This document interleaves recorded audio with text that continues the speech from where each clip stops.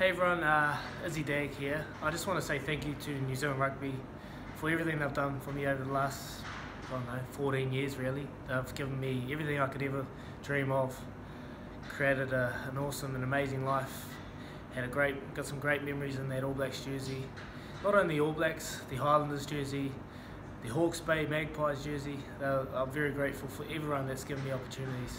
Um, from a young kid coming out of Hawke's Bay in 2006 playing for the Magpies to, to where I am today. I'm truly grateful and truly blessed. So I just want to say thank you and thank you to all the fans that have shown love and support over the last 14 years. Obviously this is the end of my playing career, but um, it's not the end of Izzy Dagg. You'll be seeing a bit of me, bit of me over the, maybe on TV, maybe on the radio. I'm not too sure, but uh, if you see me out on the streets, come up and say hi. I'll be willing to to say good day and have a yarn with you. But thank you from the bottom of my heart. I really appreciate it.